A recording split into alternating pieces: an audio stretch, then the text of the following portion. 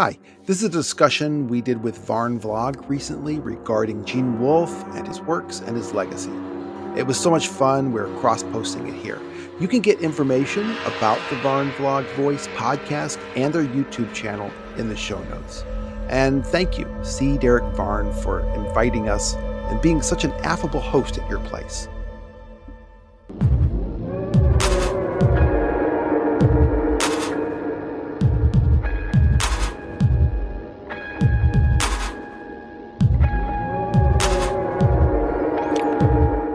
Welcome to Varn Vlog, where our aim is to give you the best in analysis in philosophy, political economy, history, art, culture, and geopolitics from a left wing and socialist friendly perspective. We aim to bring you different perspectives from different walks of life and to have you educate yourself what to do with what you learn here. We do not aim to give you prefabricated and easy answers. Abandon all hope, ye who subscribe here, for you will learn, and it will be your responsibility what you do. And with that, let's begin today's episode.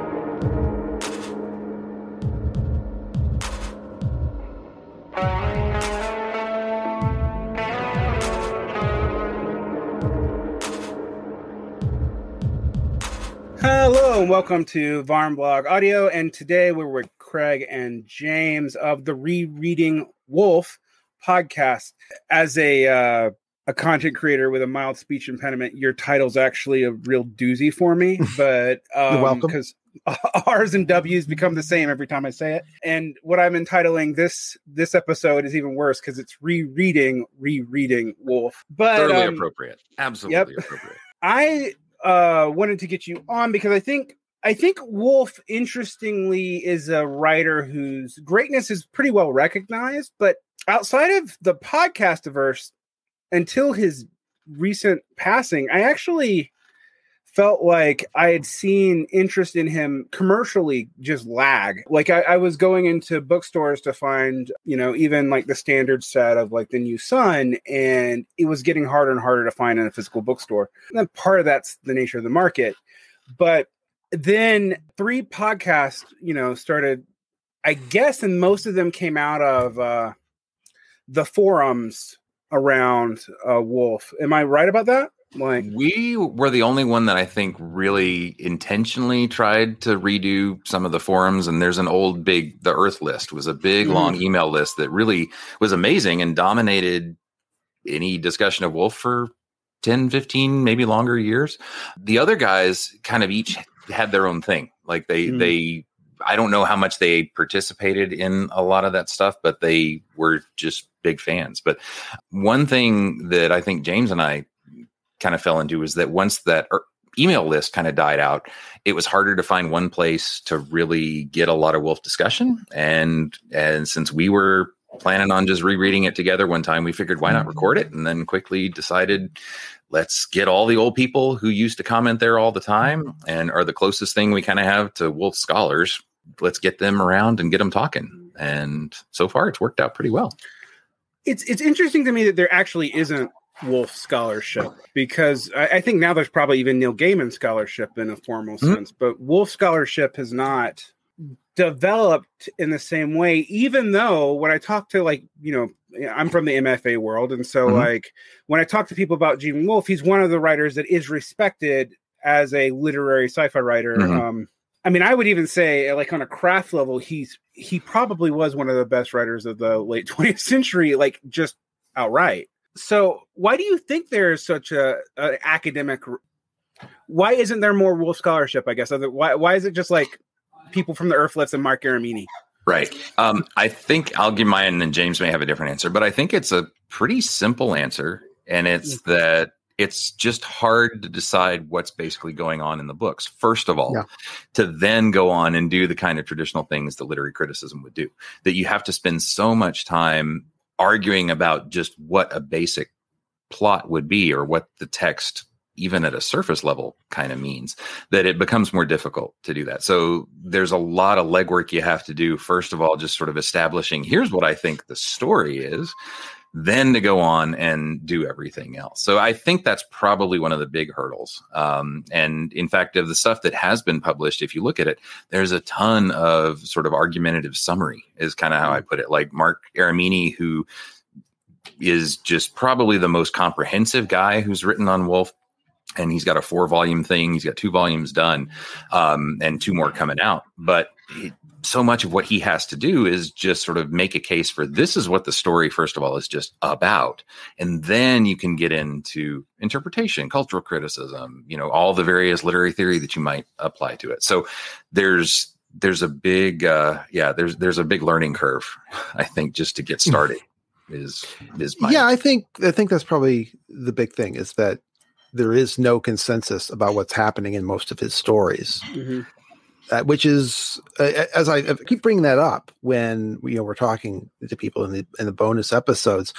What is it about Wolfe that is so unique that he can get away with story after story, novel after novel of all the debate is not about themes or symbols or social milieu. It's all about well so what do you think is happening here? And that's where all of the everything is being invested and so there, there really is a lot of wolfe scholarship. It's just i, I don't know. I, I couldn't say how much academic scholarship there really is but i think it's probably uh, all relegated to to what's happening. Uh, there's peter wright's majority book it, yeah. right? Mm-hmm. he's mm-hmm. and it, his his book is all about explaining what's really happening in the story. Even on um Ultan's Library, the, the mm. website, uh, ultan.org.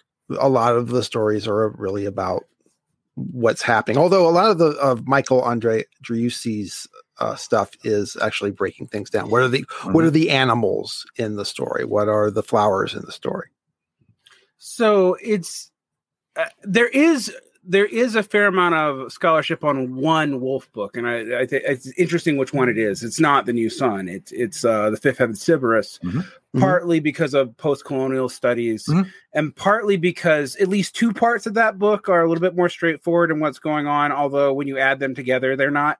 Uh, so yeah. Um, yeah. that middle story is uh, is the thing that throws you for a loop, but it's that is that's the that's the thing that seems academically approachable. Whereas you throw someone the new sun, it's it's done, or even or even like Le, the Latro books, which I don't think are the most difficult of the Wolfe books, even though they're pretty difficult in mm-hmm. some ways. Um, like, but you can not, usually agree about what's happening because yeah. you're, you you have a source text to follow along with. Mm-hmm. Right. Yeah. The, the, the mythology is mythology that you know. It's not like the new sun where there's there's an entire world that you are divorced from, and that Wolfe has actually seemingly flushed out in his head and not shared. Right. Um, yeah. So.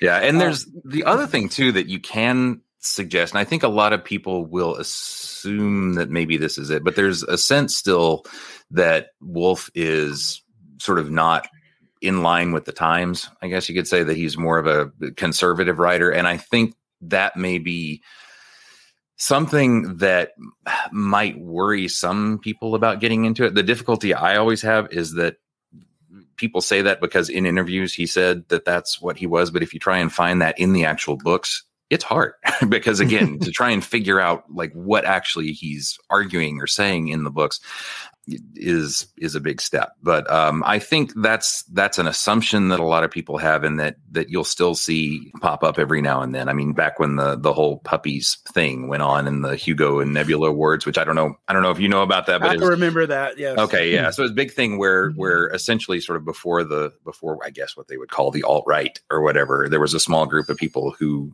complained that the Hugo and the Nebula Awards were predominantly becoming less sort of literary quality and more political, like yeah, political woke. awards. Just yeah. woke. Yeah. Right, right. That that was the argument. And so a lot of people said, well, Wolfe is would be on the side of the puppies. And so they hmm. they they classed him as one of the the guys who would be for them. I don't know how many people agree with that completely, but it is something that especially people who haven't read Wolfe will often say that. Like if you just search for Wolfe on Twitter, you'll often see him sort of listed among like, oh yeah, a conservative guy like Wolfe, and you're like, well, you know, what does that mean?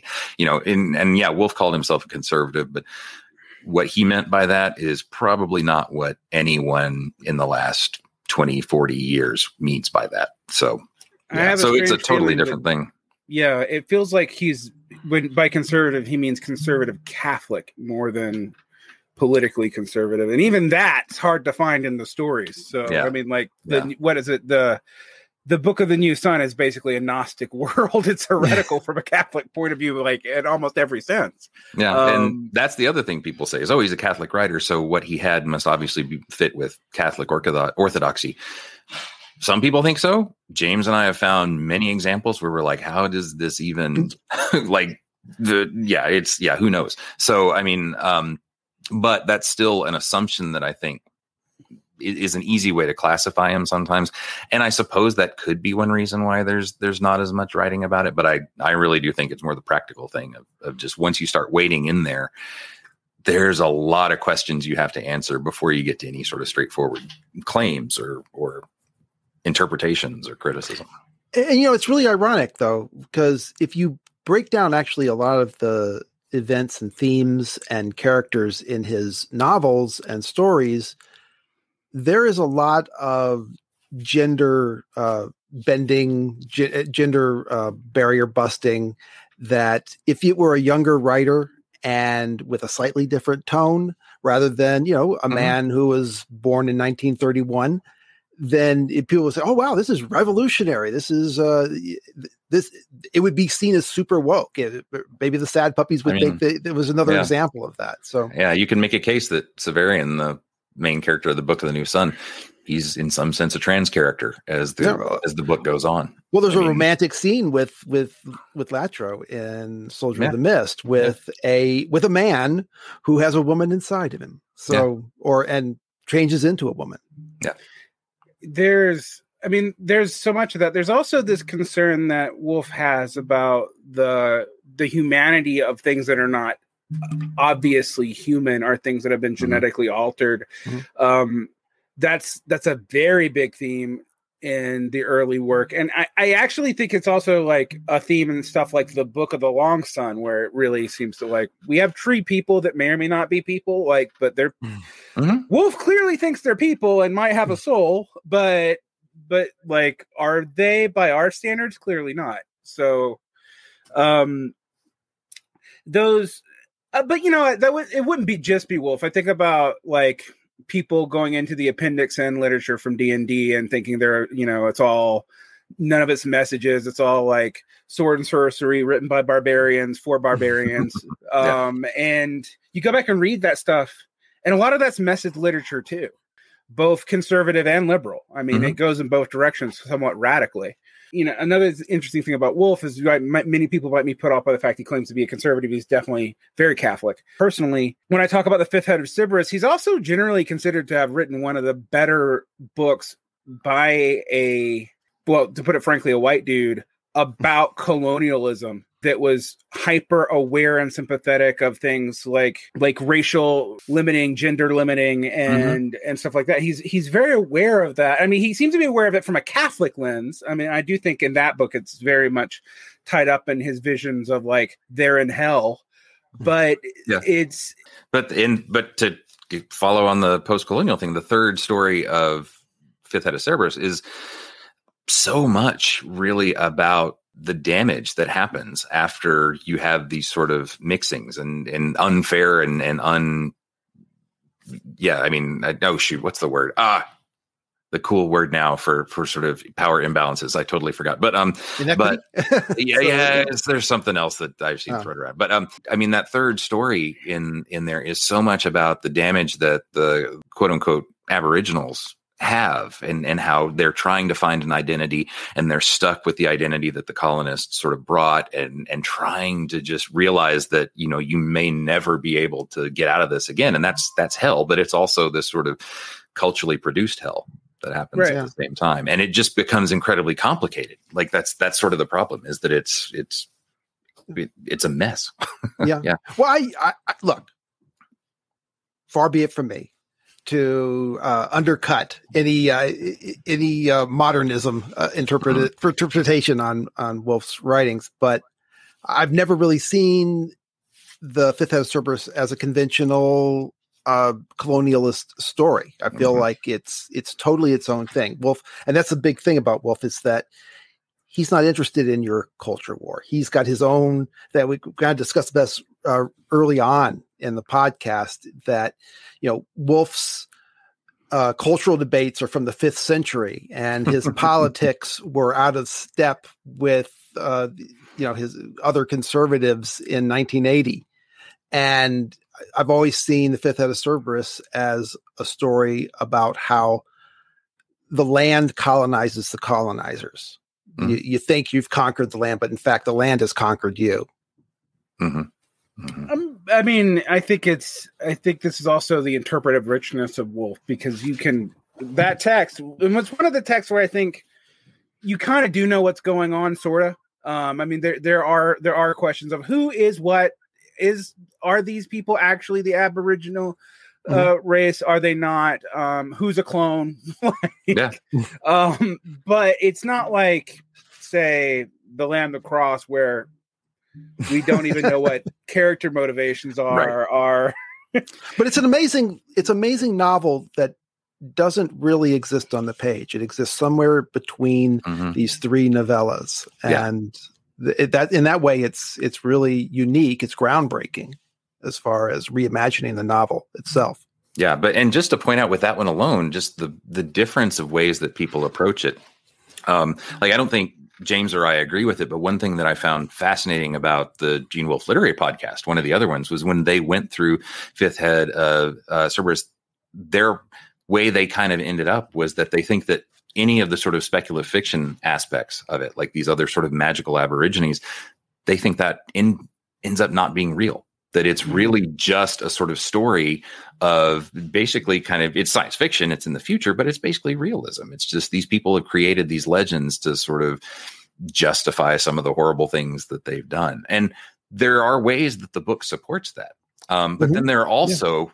totally different, wild, crazy speculative things about magical third races that that you know can take on identities and um, of different people and copy them and copy them so well that they even forget that they're copies of the people. Um, and that's in the book too as just mm-hmm. a, an explanation of what the basic story is.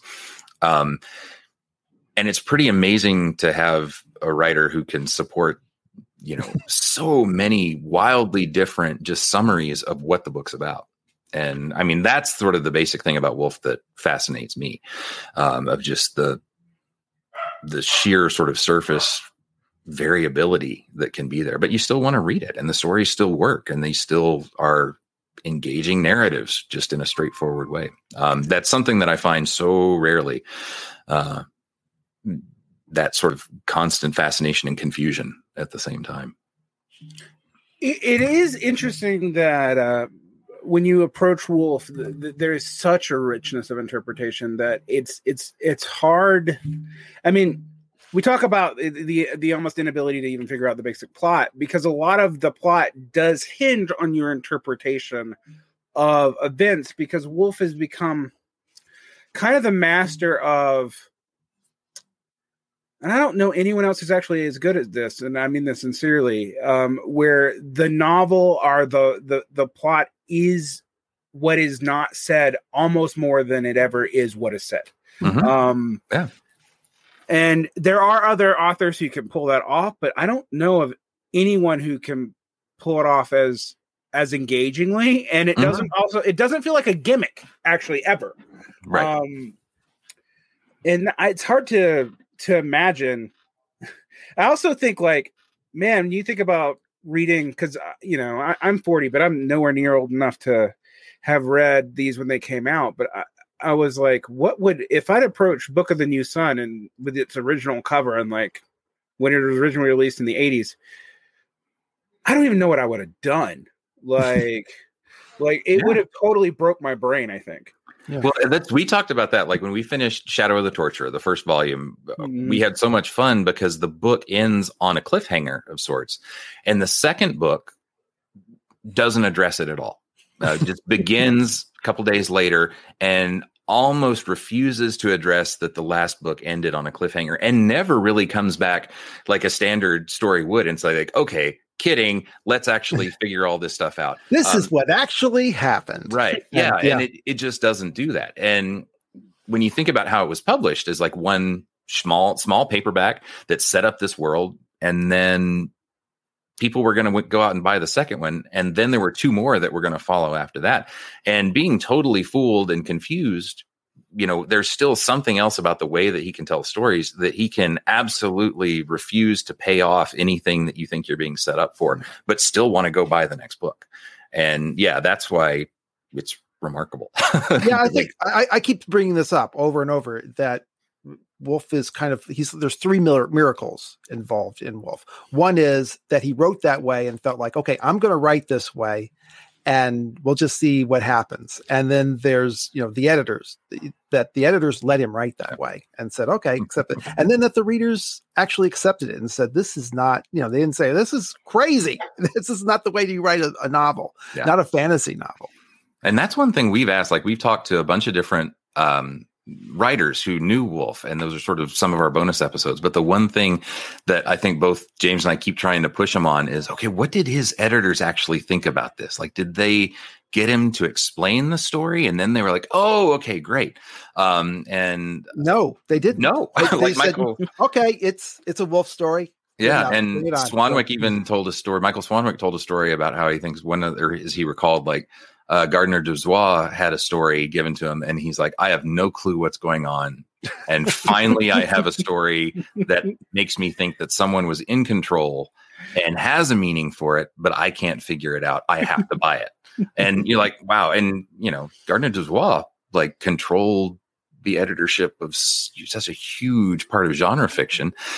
But if he was making that kind of decision too, then yeah, then Wolfe at that point, I think, had sort of carte blanche to just keep doing that kind of thing and writing yeah, these. I, yeah, I guess stories. Damon Knight was kind of encouraging him really mm-hmm. to, to, to to follow that particular path. It, yeah. When he put out the Changeling, he compared it favorably to Shirley Jackson's The Lottery and mm-hmm. said, "I I can't tell you what this story is about, but I think it means something." So, yeah. yeah, it's uh it's interesting because I do think like the only novel that I've ever uh, uh um, read of Wolfe's where I automatically knew what it was about was the one that he just disavowed, and um, and uh, it's also the only that. one. Yeah, it's also the only one where the politics are apparent, but also they don't map. They actually don't really map on the conventional conservative or liberal mm-hmm. politics mm-hmm. from today, like at all. But yeah, um, I, I, to Wolfe, that was conservative politics, and it and no, no, I'm sorry, Wolfe, you don't understand conservatives at all either.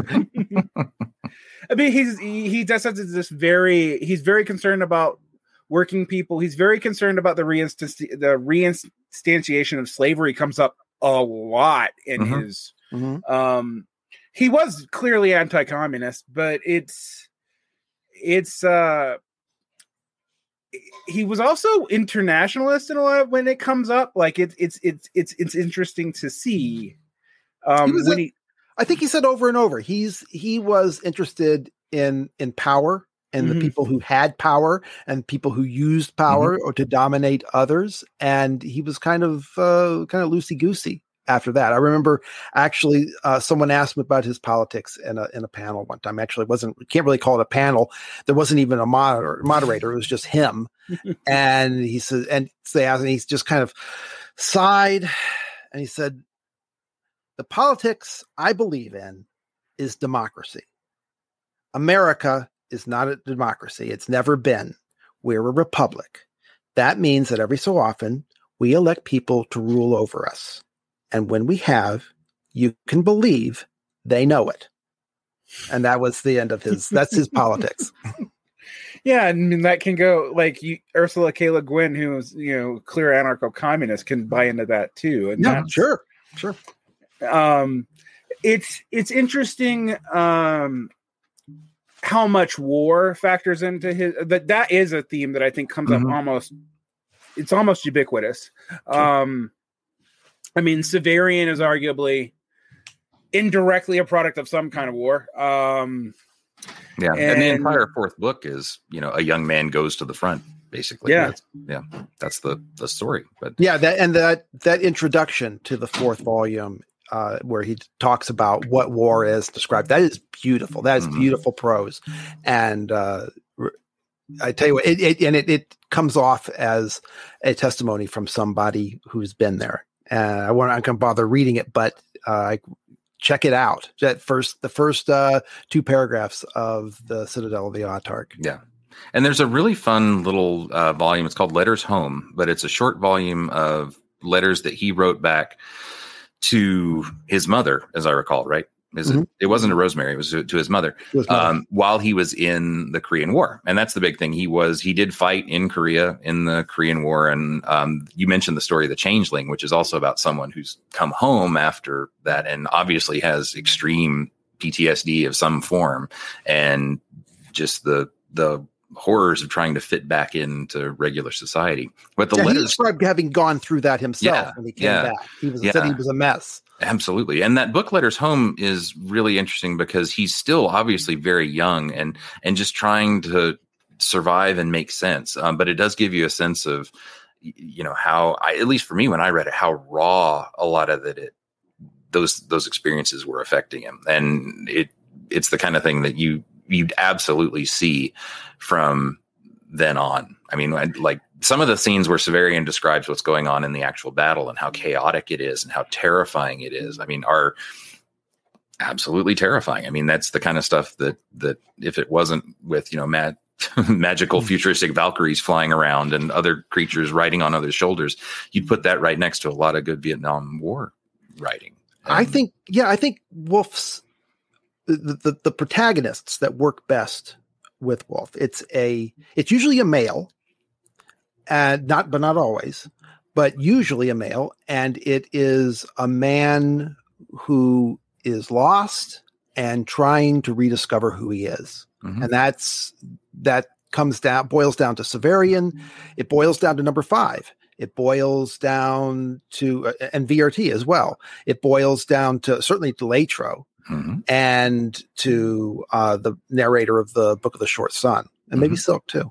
Yeah, yeah, and that's very much that sense I get of yeah a young man who's gone through this sort of overwhelming experience and has to put himself back together in some way. And yeah, that's sort of the pattern you see in his protagonists over and over. So I feel like that's really probably in the end, he does have plenty of direct writing about war, but it's more that experience of trying to, I think, put yourself back together or figure out mm-hmm. just what's going on or where you fit into a world that isn't anything like you used to think it was. That's yeah.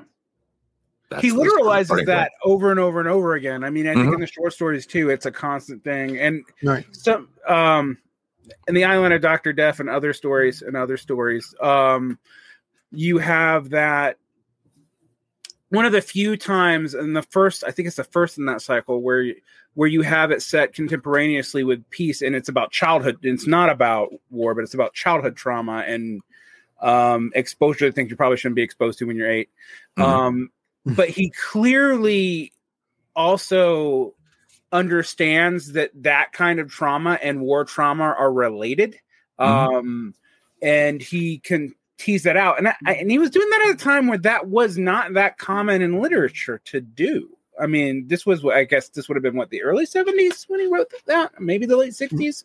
It's early. Uh, it's like seventy, yeah, nineteen seventy. Mm-hmm. Yeah, seventy one. Um, and then you you think of something like Peace, which I, I, guess you can argue whether or not it's supernatural or not, or mm-hmm. if it's just someone who's completely mind broke. Um, uh, of all the stories, that's it's the one where I'm like, well, they both completely, utterly work. like, yeah, yep, yep, yeah. Once um, again, it's it, and it is that's once again a protagonist trying to find himself. Maybe yeah. maybe he'd be better off not finding him, but yeah. he uh, he may be too late, but yeah. yeah. yeah, but yeah, yeah, and that's the one too that Neil Gaiman famously talks about, where he read it once and thought it was just a nice little you know, story about memoir. a Midwest, yeah, Midwestern memoir, and then you read it again, and it's a horror novel, and right. yeah, so so it works both ways. Mm-hmm. Uh, I'm, yeah, I think about the the soldier stories are are interesting like that. They they read they have read different to me every time I've read them. Um, how horrific they are. You know, the first time I read them, I think I was just so puzzled, even though it was it's a fairly for wolfe it's actually one of the simpler conceits. Um but uh I'm like, oh, this is Memento, but like way smarter and in, mm-hmm. in, in, in, an ancient in an ancient Greece and Egypt. Um, yep. yep. Uh, it may or may not involve gods. Um, so, um, but it was that story. Um, those stories came off differently when I was thinking about them in the context of trauma and not just trying to piece the puzzles together. Although both yeah. are really fun. I mean, that's the thing about Wolfe. Like, I enjoy doing both. I mean, particularly when you get to the all the Sun books, it's just like, okay, there's there's all the psychological richness here. It's also objectively insane. And do I trust the narrator? Is the narrator one person? And um, is his memory messed up because he's lying to me? Because he does seem to have a, a, a idiotic memory most of the time. Um, or is he multiple people? I mean, you guys go through this over and over and over again on mm-hmm. your show. Yeah. Um, but that's why the rereading part of it is so so important because I with, with, all stories you should read them more than once. But if you if you're reading a wolfe story once, you have no idea what you read. I think. No, it's my it's it's my least fun time to read it. That's the, the, after when I read it the first time, I'm I'm paranoid. I'm I'm lost. I'm irritated. I said, "What the heck?" And it's so yeah, it's it's only after you get to the end where there's and there's and in some places it can be boring. Where places it's really not.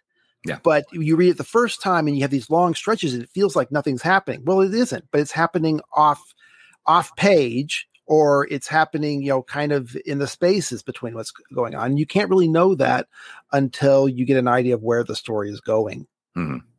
Yeah. And same with like New Sun, because the one part that or two there are two parts that everyone talks about skipping over a lot of time the first time they read it because there's the brown book stories which is mm-hmm. there's a mm-hmm. book in the book there that tells pieces of history and old legends and myths, but in almost unrecognizable ways. But entire chapters are taken up with those stories.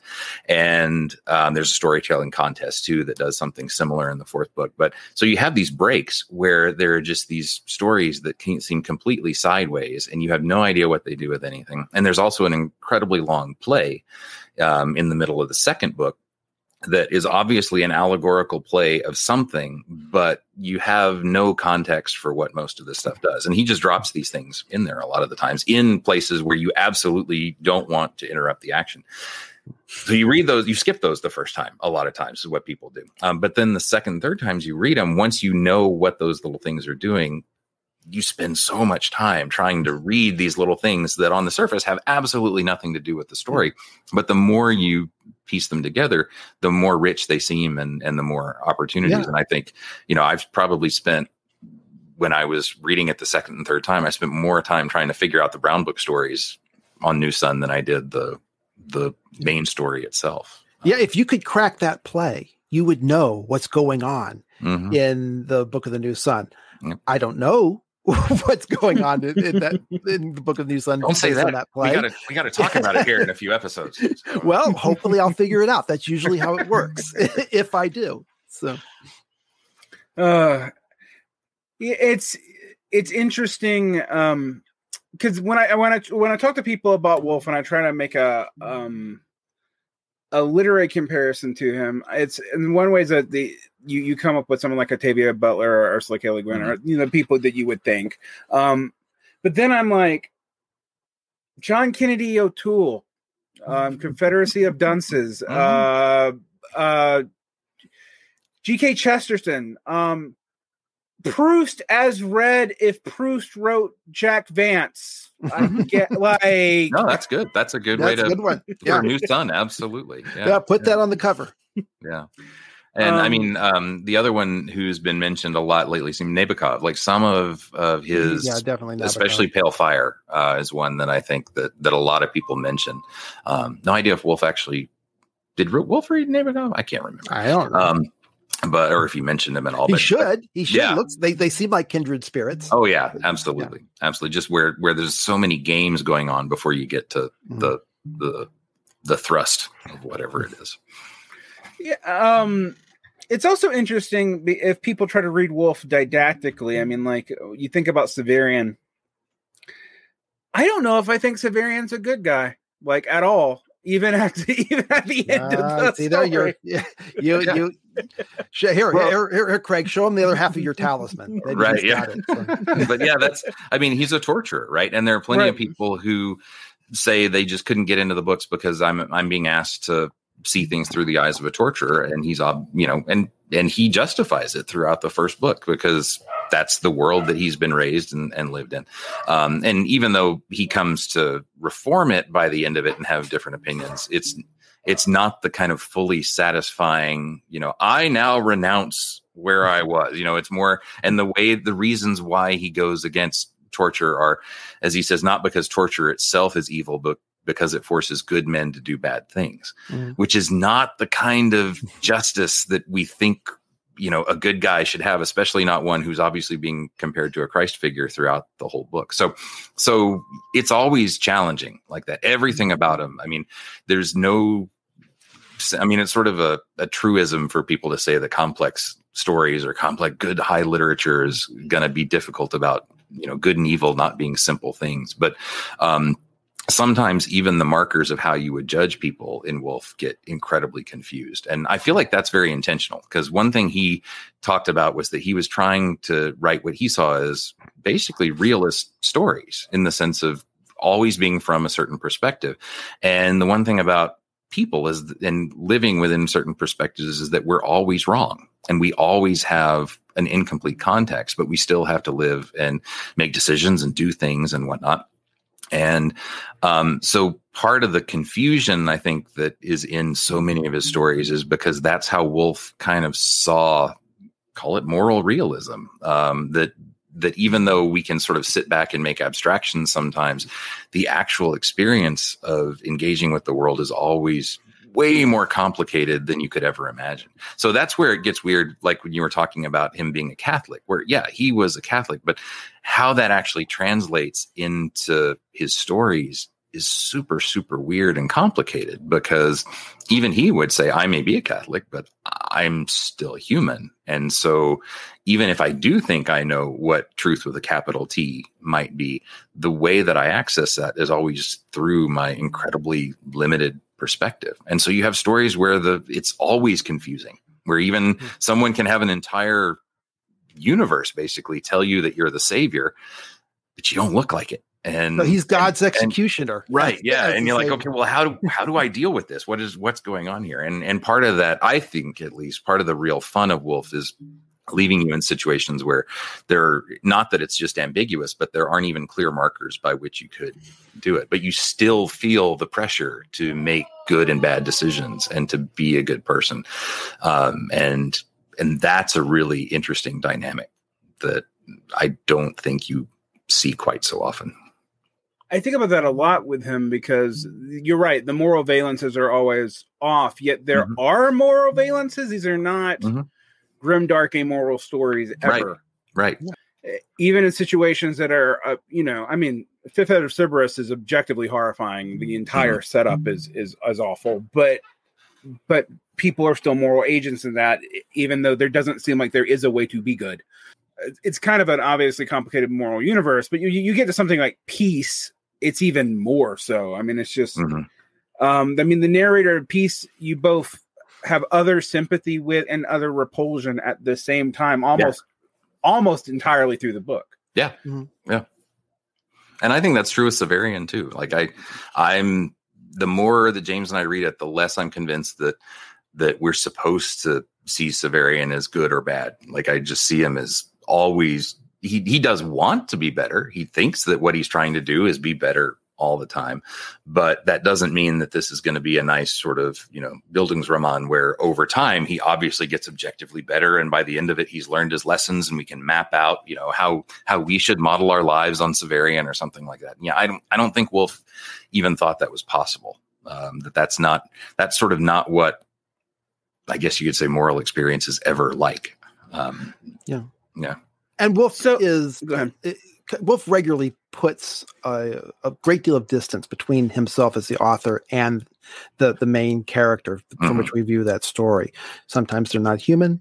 Sometimes they are they're, sometimes they're a torturer Yeah. uh, in a in an evil society where that is the best thing you can be. Sometimes he's a, he's a soldier who doesn't even know who he is. He's just wandering around. I have all kinds of theories about you know who the the characters are in the, the Fifth Head of Cerberus, but one of those one of the things about them is that I do believe that there's a great deal of distance between Wolfe and the ma- a human being and those characters. He doesn't Yeah. see. I don't think he sees them that, that way. And yeah, he's he's a bit of a torturer himself as he scientifically goes about tearing apart those characters. Yeah, I always Mm. think too, it's important to remember that even though people will talk about Wolfe being Catholic or being conservative or something, he was a science fiction, speculative fiction writer first. And so he's making up things that are not just veiled lectures, right? I mean, Mhm. not even in a complicated way, I don't think. Like he truly is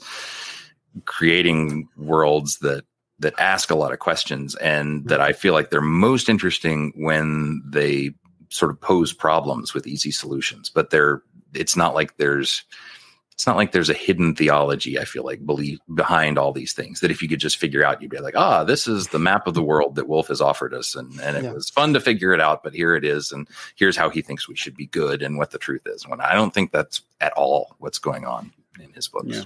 He's not C.S. Lewising it for sure. Um, Yeah. No. Why do you think that the Book of the New Sun is so many people's introduction to to Wolfe? Because as an introduction to Wolfe, it's kind of a weird place to start. Mhm. Well, it it looks like a a kind of book you've you've seen before. It has all the tropes.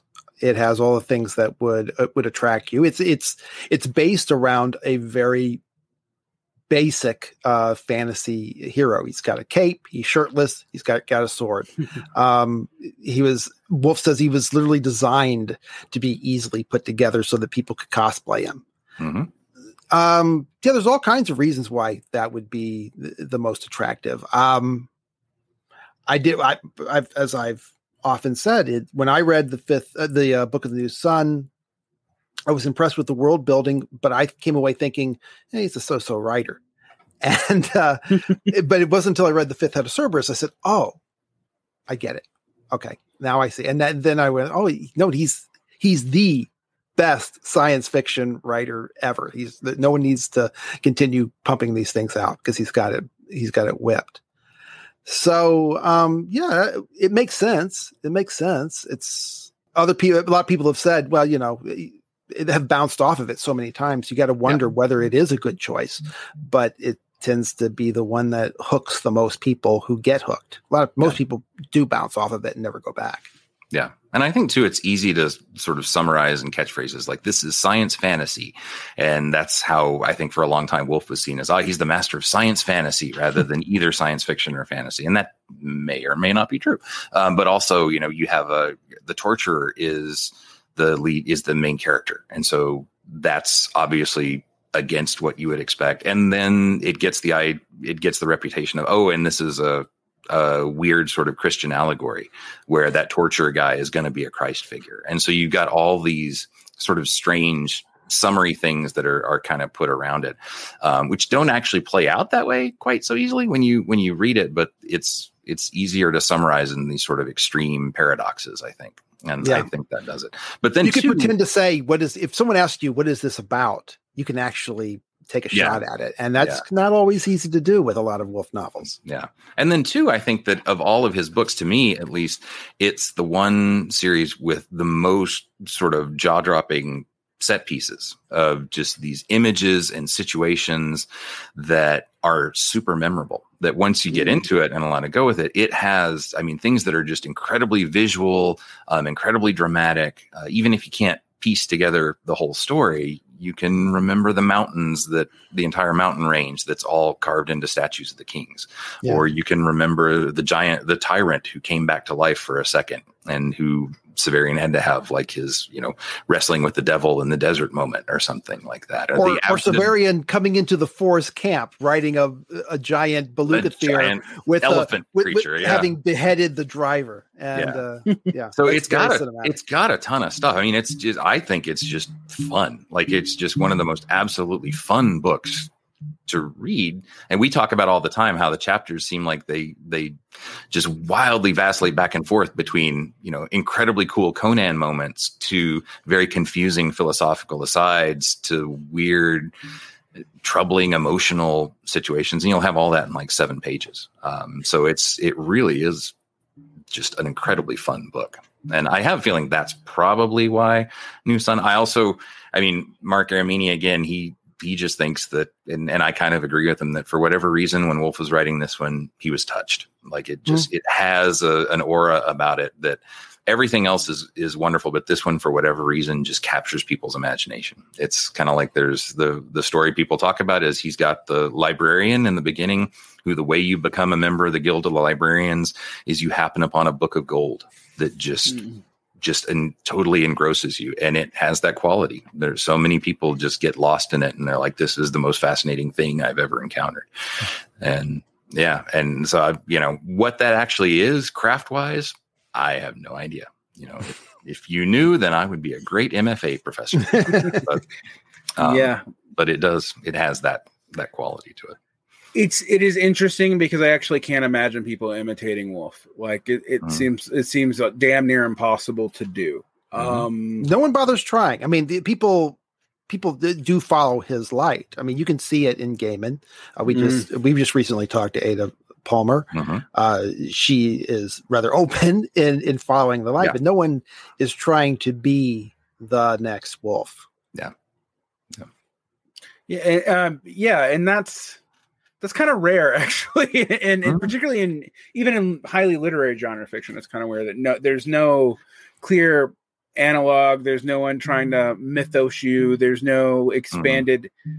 I can't imagine an expanded New certain universe, but like we wouldn't even agree on what it could be. Yeah. Um, We've had one person send us a piece of quote unquote fan fiction about it. Um, mm-hmm. But even that was so very different. I mean, it was it was really cool, but it was sort of another another world altogether um, that was connected. But yeah, I don't. I haven't ever encountered you know somebody else taking one of Severian's friends' stories and going on with it but know, that's that, that is something fiction. that we want to do. That's something I want oh, yeah. to do. We want, I oh, want to have a flash fiction contest. Pick one character, and then everyone has to write a story about their background. And I mean, the one we always pick is is Agia because we can't agree what mm-hmm. her backstory is. Yeah, uh, you know, yeah. is she is she a robot? Is she uh, from the mirrors from the Botanic Gardens? Is, yeah. is she a from the from the north? It just she's just a rag shop girl. All of these things work. Yeah. And it, it would be hard to do. Like if you decided that you were going to try and be a writer who didn't tell stories on the surface, but the real story was something that a reader would have to piece together behind the scenes. But the surface story still needs to be engaging enough to make people think they understand it and to keep turning the pages. And you're going to sell it to a mass genre market, That's, right? yeah, I mean, like, yeah. It's it's first of all, yeah, how it's it's amazing that it sells at all. But then, yeah, to actually do that, I mean, you have to have beyond confidence. and so I don't, I can't imagine too many people really. Why do you think he never won a Hugo? I don't know. What is it about the Hugos? Uh, Gr uh, uh, George R. R. Martin uh, actually brought this up when he was uh, debating the uh, the cause of the of the sad puppies. It says, "Look, you know, we don't always quality doesn't always win out for awards. Gene Wolfe never won a Hugo, mm-hmm. um, and Martin is obviously a fan. Yeah, I was brought that up that uh, on the Facebook group at one point. So you know, he got nominated, I think, for mm-hmm. Sword of the Lictor, or maybe it was Claw the Conciliator. I can't remember. Mm-hmm. But you know, after the novel was done and uh, Citadel Autarch came out, didn't even get a nod. Yeah, yeah, and I mean, it, the Hugos are weird, right? Because the Hugos are um, those are more of a popularity award, but like the World Fantasy Award, the Nebula, the Locus Awards, those, those are, are, the writers. Those are the writers doing things. So yeah, and I think too. I mean, as popular as Wolfe was, he was never the super top bestseller, right? Oh yeah, he was. Yeah. He, he was always kind of seen as like a writer's writer or a hard writer or something like that. So. Mm.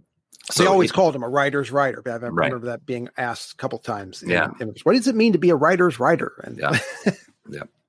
Yeah, and it is hard. I mean, our whole thing is like we even say it in the beginning of the show that that it's only you're only reading him when you reread him and if Mhm. that's the case that's you know that's asking a lot of people so it's not not going to be a fun beach page turner for a Yeah. lot of people my introduction to Wolfe was actually the short stories, um, and that it, it is Mhm. because the need to reread them because those convinced me that the novels were worth it. Mhm. Um, because I'm like, okay, I'm gonna have to read this four times. At least a bit of Um, be short. I my my I think my first discovery of him was a uh, story that I can't remember the title of, and it was in one of those like Nightshade books collected apocalypse fictions that Mhm. was kind of randomly thrown together with some Stephen King, and I I knew who he was. Sob in Um, the silence. yes, actually, that's it. Um, and and I just I hit that story and I read it, and I'm like, wait, what? And then I read it again. I'm like, this is amazing, but I, I don't know. And then I read it again, and I remember I'm like, I'm just gonna keep rereading this story, and there's like nine other authors. Okay, I gotta I gotta track everything down. And then I found I heard about Book of the New Sun, and I was afraid of it. Um, Mhm. and you know, and then I I uh, started with the Soldier in the Mist, and was fascinated with that. Went through the Wizard Knight, and then read the Book of New Sun, and then I read Fifth Head, and you know, Fifth Head is actually probably my favorite, but Mhm. I was just like, wow, how why was I not taught this in school? Was actually my first thought. I was like, I've been taught Ursula K. Le Guin, it's okay to teach genre fiction now. Why aren't they teaching this? Yeah. Well, so many people, especially other writers, talk about it was the short stories that won people over. And it was, I mean, Fifth Head is a, a mock up, right? It was the first story was written mm-hmm. as a separate novella, and then they basically asked him to write two more to put it together.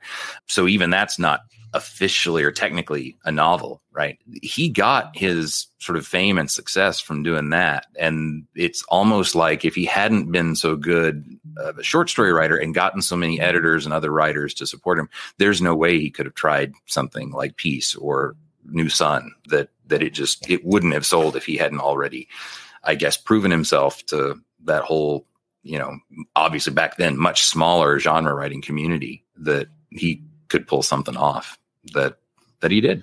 But Yeah, yeah, I, don't, I don't were- even know how another wolfe can even arise, Oh yeah, given but- the, the the tanking of the anthology market. Yeah, yeah, and the short stories are what made him. I mean, the short like initially, like I I don't think he would have had David Hartwell, who is his main editor, on his side when he was writing New Sun if he didn't have all those short stories already out there. And so he just wouldn't have been it wouldn't have sold. He wouldn't have had an editor who was pushing for it.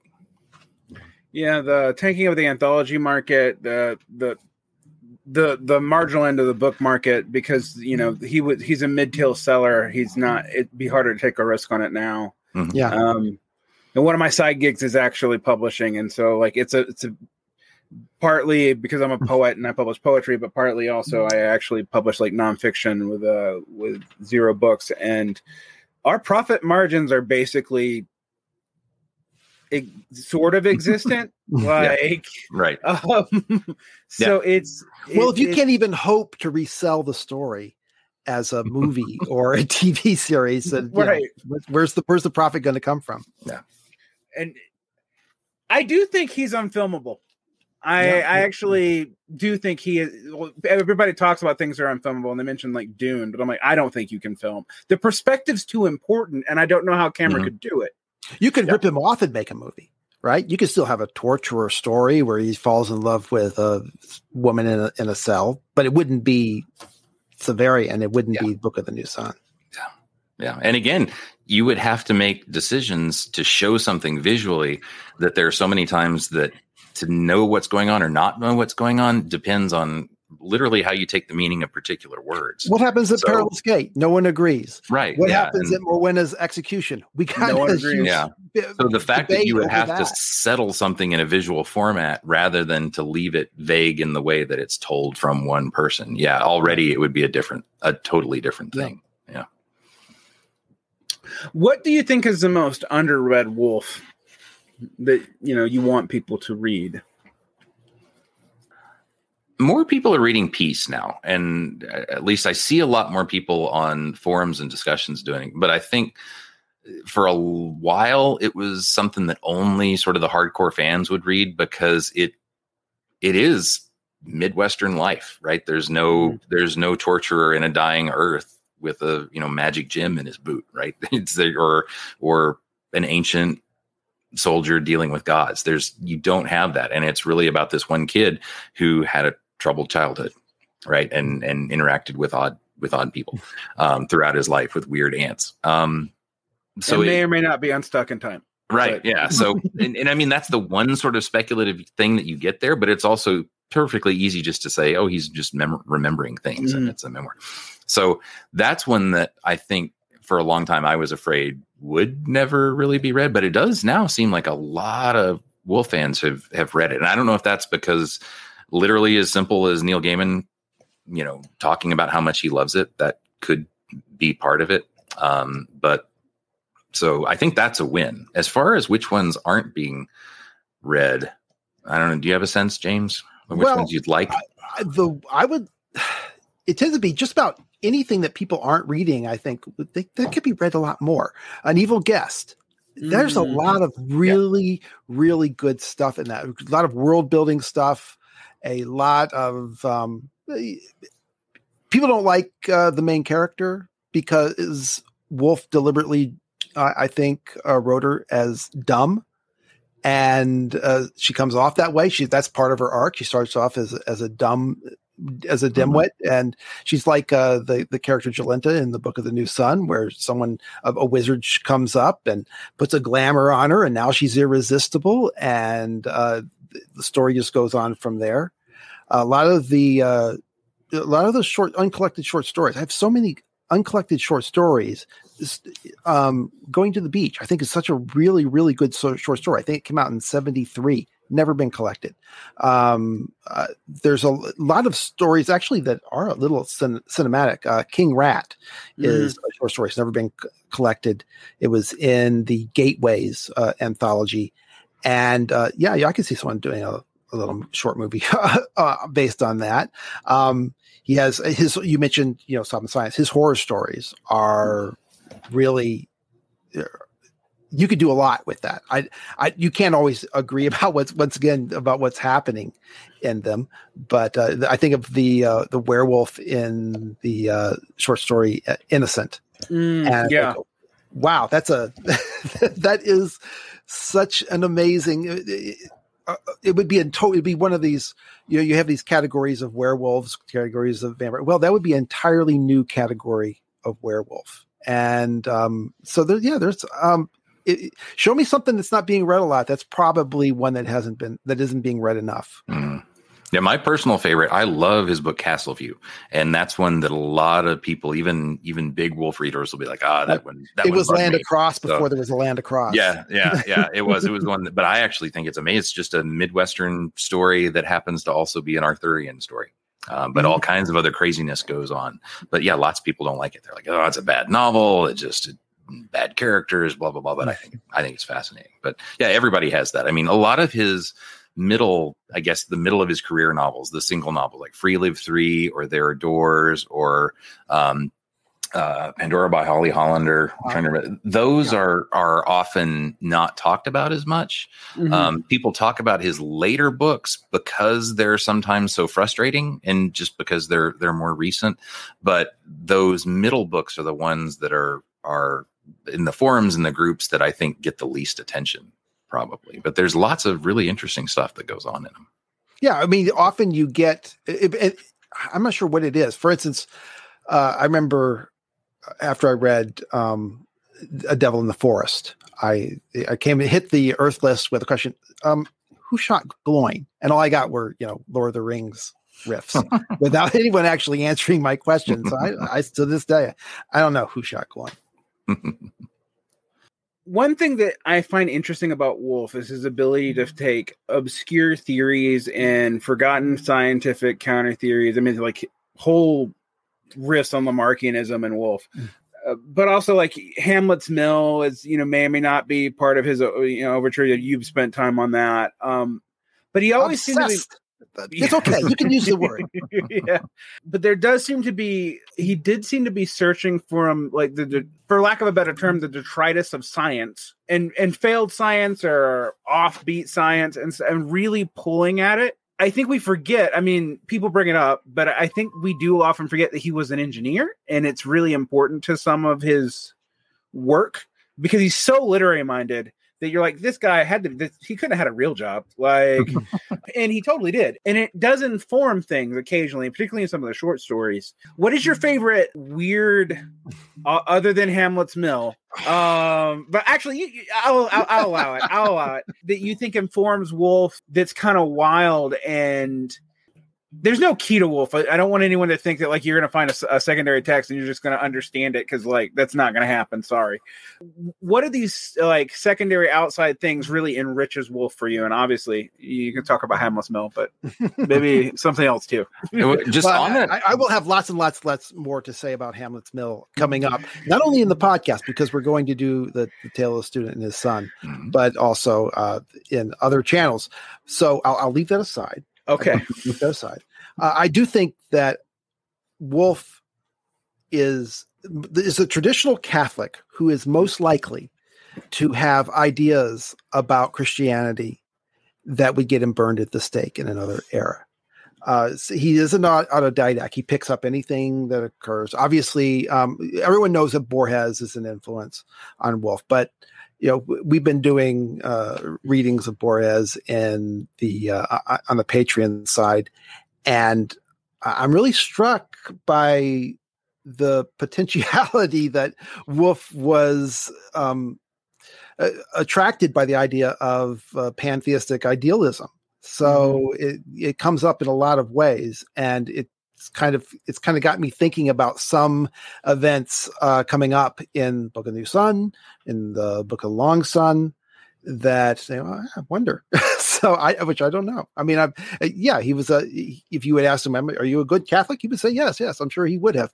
Uh, in fact, he he did, but he was going to think what he was going to think, mm-hmm. and mm-hmm. so yeah, I'll I, will i will say Borges. Read Borges, and you're going to get a lot. Not just not just the the novels with the labyrinths and the mirrors and the, the you know whatever, but the the essays. And I think you'll see a lot that will inform your your reading of Wolfe.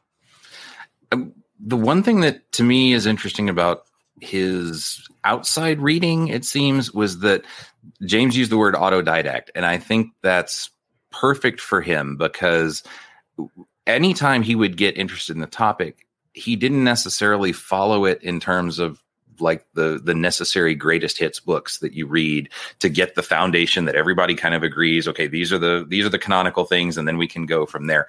You know like lamarck he was he would be like yeah i'm i believe thoroughly in evolution but i actually think lamarck makes more sense. And so immediately he's like a minority opinion on a majority opinion. And i think that's kind of what is so interesting about the way that he approached things. And it's one reason why I say over and over again that I desperately wish we knew what was in his library or could see what he what he had checked out or what books he bought um, just to know the specific things like what was his particular what were his favorite re- references for mythology yeah. Like, you know, because I'm sure that the ways he thought about mythology, he wasn't reading Edith Hamilton. You know, he had yeah. something specific that that was a little bit different. The same with a lot of his sort of scientific work and like Hamlet's Mill. Like it to me, Hamlet's Mill makes total sense to be the kind of thing that Wolfe would be into because it's incredibly hard, incredibly difficult, but it's not at all sort of a mainstream academic take oh. on oh mythology. Oh, did I disappear? Yeah, you froze for a minute. That's oh, okay. oh, sorry, sorry. But um, at least on my side, I don't know. Oh, but you're fine. But yeah, but that's that's so I don't know exactly. But the one thing I I would like to know more about is I've always been interested in his, like James said, sort of heterodox Christian reading because he definitely did, and he certainly knew about Kabbalah, and he certainly knew a little bit about Gnosticism. And if I could know what he had actually read in some of those ways, I would love to know. And the only yeah. reason we know Hamlet's Mill is because of one quote in Book of the Long Sun.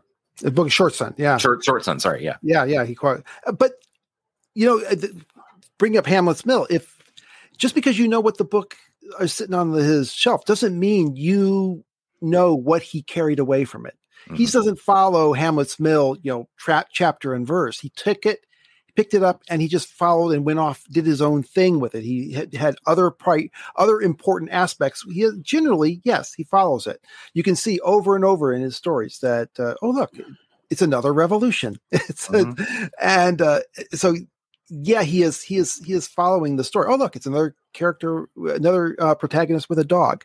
But he was still doing his own his own thing. He wasn't saying, "Oh, I'm going to bring out this little paragraph in Hamlet's Mill and then I'm going to make a story out of it." No, he was making he was taking a kind of a general idea of the hero and carrying it on. Yeah.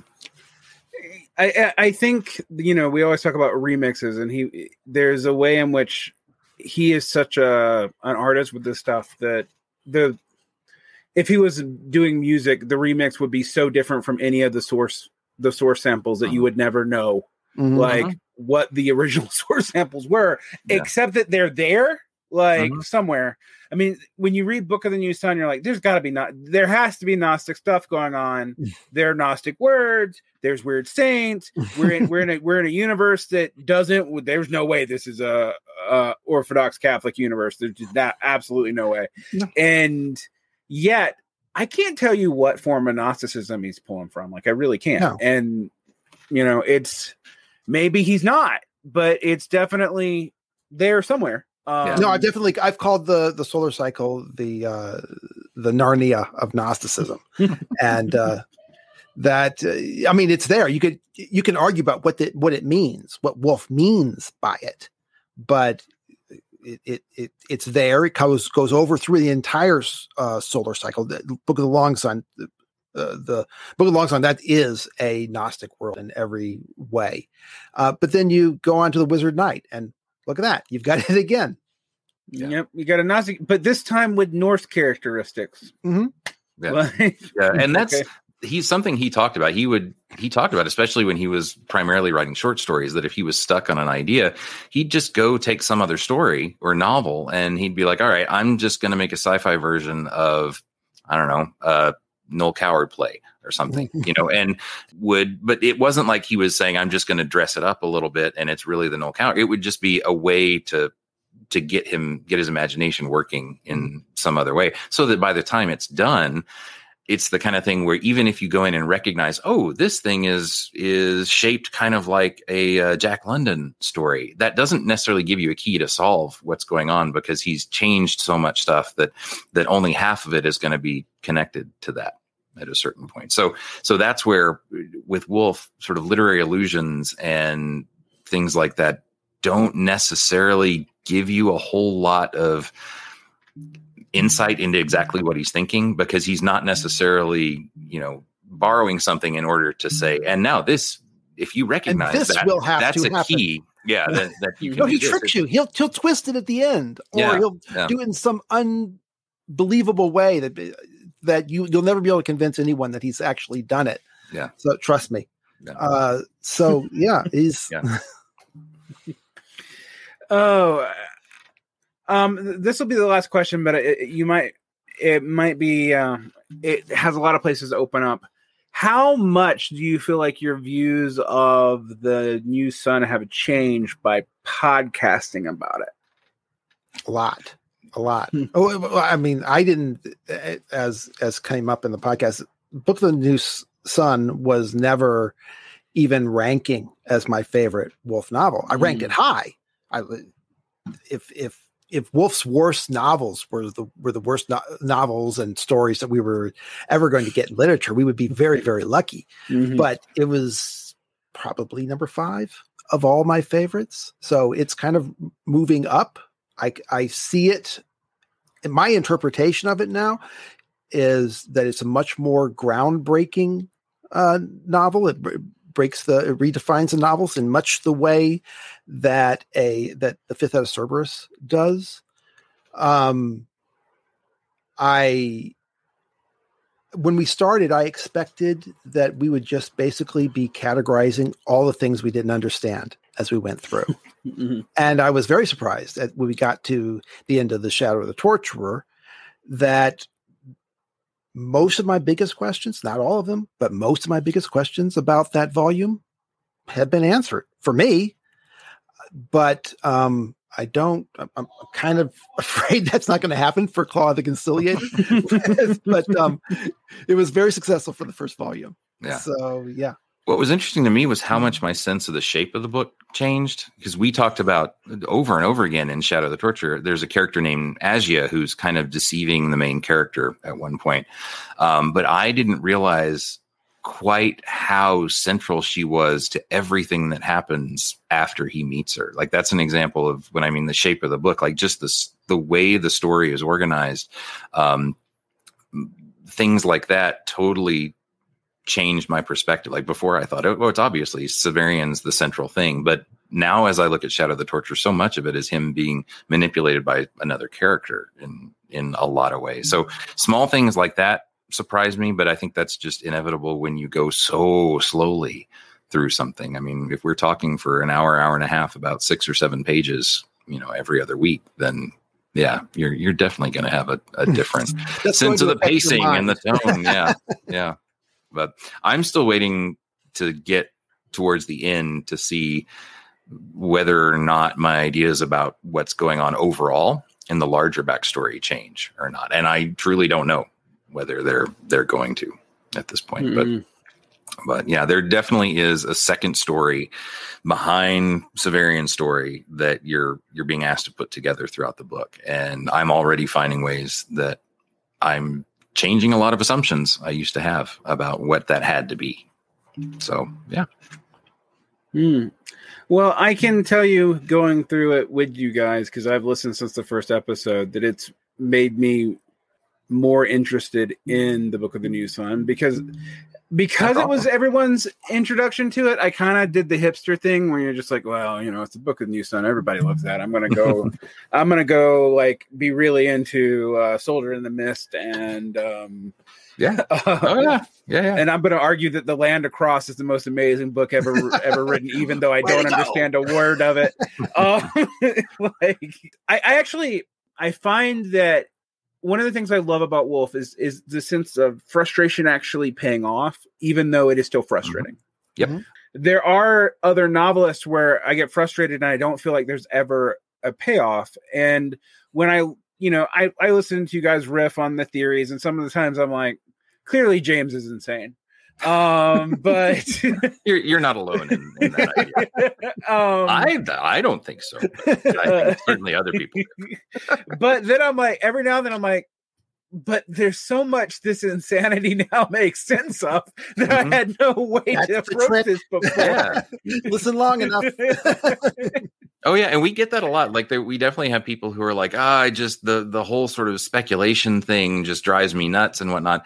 And yet there are times it does solve questions and it does open up other avenues. Yeah, James's and other people's who do that kind of crazy wild speculation on Wolfe that most of the time it may take you in strange places, but but there are plenty of times too where it's made connections or it solved something that now I think has to be true.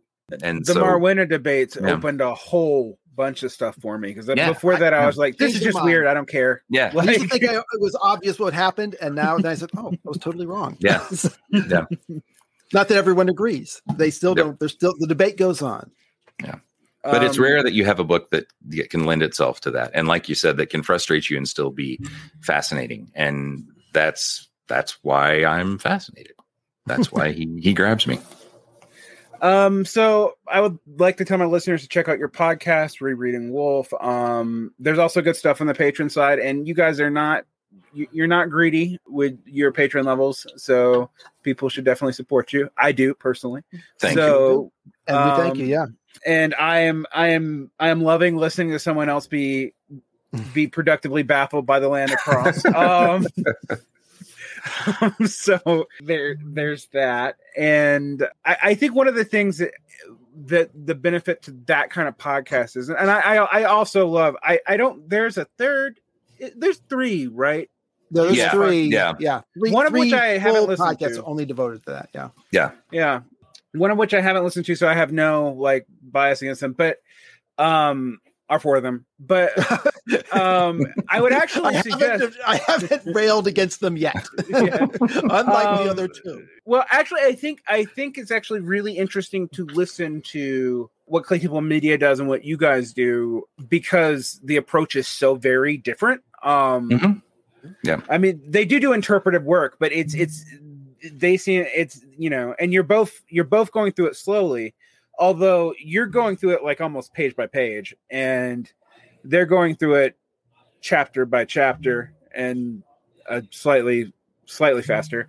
But it's it's a very if people want to engage with it, it's a very good way to, to engage with a book that I really do think benefits from discussion. I don't think Wolfe is something uh, weirdly he is one of those authors that I think behooves communal experience oddly because you need Mhm. to talk about it to begin to process what you're reading. Yeah. Mhm. yeah. yeah, it's true. Well, no, I wouldn't be a big as big a fan. I think if it hadn't been for that that email list, the Urth list.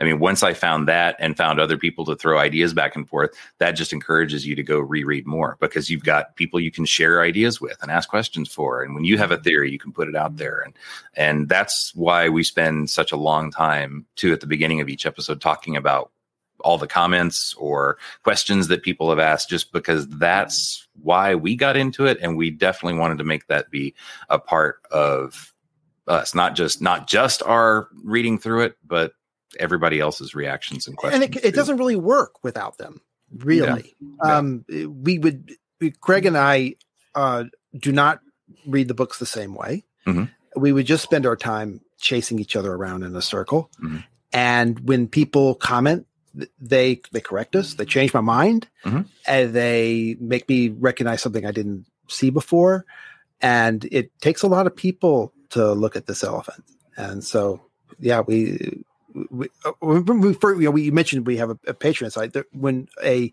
very uh, nice listener said, "You guys should just you know put it behind a paywall," people would pay to to listen. I said, "Well, yeah, but it doesn't really work. But unless we Yeah. get a lot of people listening and commenting and straightening us out, so Yeah, well, it's a great show, and I was glad to have you on. And I'm I'm always trying to get more people to read Gene Wolfe because while he's not a secret, he's not you know the, I wouldn't say like some super obscure cult author. Um, I I don't for how for how weird and kind of amazing he is. Like I like I don't know why he's not at least on the level of like a JG Ballard. Um, and for Hmm. the people who know him, he is, but culturally, yeah he's not. Yeah. no, the fan base is three feet wide and about a mile deep. Right. And- yeah yep All right. Well, thank you for your time, and uh, hope you two have a good evening. I know it's late. thanks for having us in Thanks. Yeah, that's I'll tell you when it's uh when it's done and edited, and I'll I'll give it to you guys. And We will re- demand retractions at that. So fair. Um, and uh, I'm looking forward to it. And like I said, I'm a fan. I've literally listened to every episode that you guys have done on the free channel, and I'm going through most of the stuff on the Patreon. Um, I Thank even you. it took me a while to get into the the brief interviews with, but I'm even into that now because I'm like, oh, I- how how do we all? Get I love weird? those. That's the I would I would give up the rest of the podcast just to do those. I love those. Like, how do we all get weird? Oh, now now now we're basically Now we doing know. case studies and how we all got weird. Yeah. Um, Yeah. all right. Well, have a good night, guys. thank you very much Thank you much. Night. oh there we go okay And thank you for listening to Varn Vlog. If you'd like more, you can find us on YouTube in the show notes. For early audio access with ad-free, unexpurged audio, as well as additional show notes episodes and Q&A sessions, please visit our Patreon where we have three levels of support. If you can't support us financially, we'd love your support in other ways. You can rate or review us at Apple Podcast or any podcast aggregator to help get our profile up, and you can share our videos on social media. We are affiliated with the Emancipation Network, a radical educational podcast network and research collective. If you'd like to check out our sister shows from Alpha to Omega, General Intellect Unit, Swampside Chat, Jumpsuit Utopia, Mortal Science. Check them out at emancipation.network. And this was your host, C. Derick Varn, thanking our crew, um, Paul Channel Strip, all our friends at Emancipation Network, and Bitter Lake for providing our music. Check out Bitter Lake in the show notes, as well as Jason Myles's show, This is Revolution, which provided us with the visual intro you will see on the YouTube channel. Thank you, and we hope to see you again very soon.